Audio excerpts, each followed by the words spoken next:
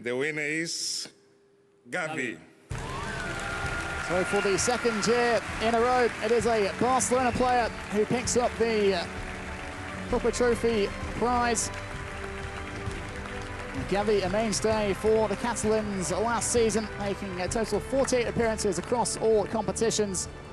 And he turned 18. Sadio Mane. So the first winner of the uh, Socrates Awards goes to uh, Sadio Mane, a Senegalese star. Video message before from Prince Albert of Monaco, paying tribute to Socrates. Quite a year for Mane, only an African champion with the Senegal, his team also qualifying for this year's World Cup as well.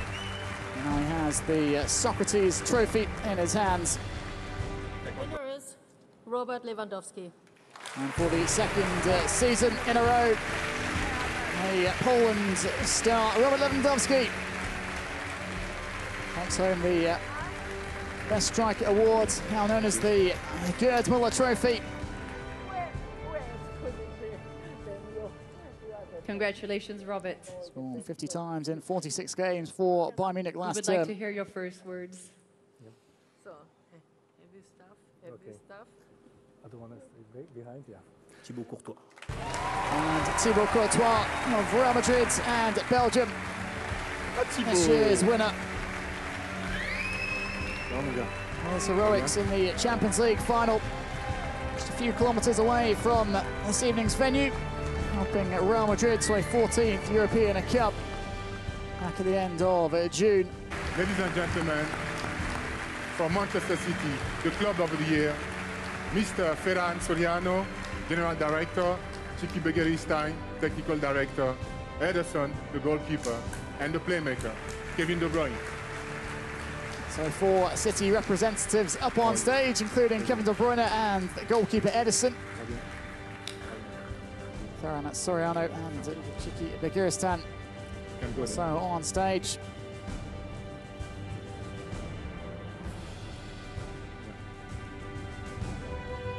Alexia, please, show it to the world. Yes.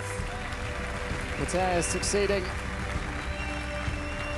Hagen Rapino in at 2019. And Ada Hegerberg who won in 2018 with a win last year. She keeps the trophy. Le vainqueur du Ballon d'Or 2022 et je suis ravi de, de cette récompense. C'est pour toi Karim Benzema.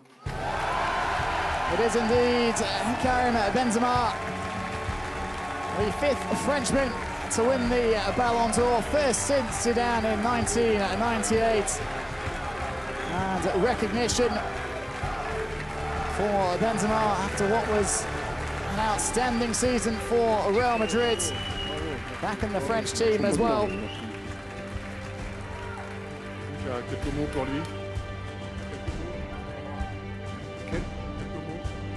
Real Madrid win both the Spanish League crown and the Champions League.